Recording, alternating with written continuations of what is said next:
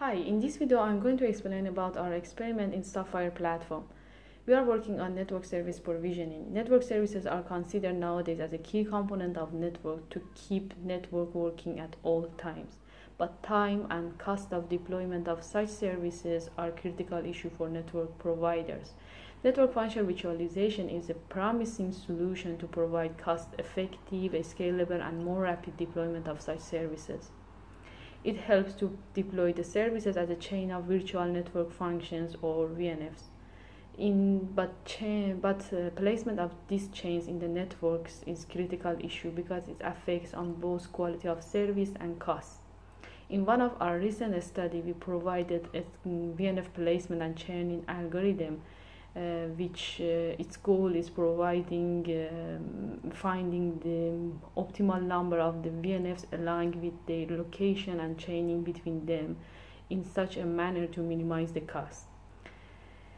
Uh, this algorithm, which is called CCVP, is already is already simulated and compared with optimal uh, solutions.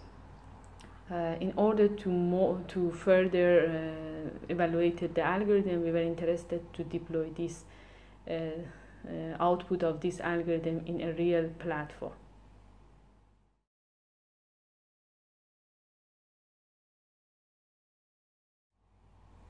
Regarding SoftFIRE platform, with using SoftFIRE, uh, we evaluated CCVP in a federated and uh, distributed platform that suits our goal the SoftFIRE platform gave us this opportunity to install VNFs in different testbeds and different countries and send the traffic between them.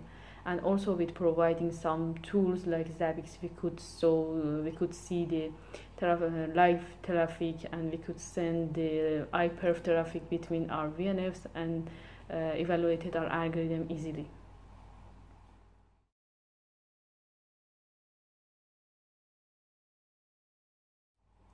Regarding the SoftFIRE uh, team, SoftFIRE team provided a tool, a, a Slack channel to uh, provide uh, real-time support in any case, uh, any uh, any question or any difficulty. We could uh, we could communicate with them through a Slack channel, and at least at any time there was at least one person there to provide us uh, support and help.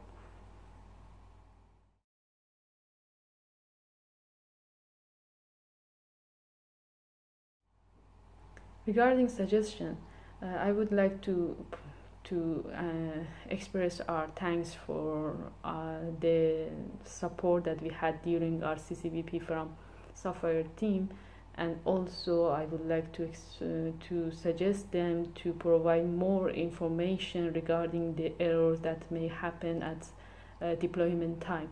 Because for any error we had to contact them that uh, we get information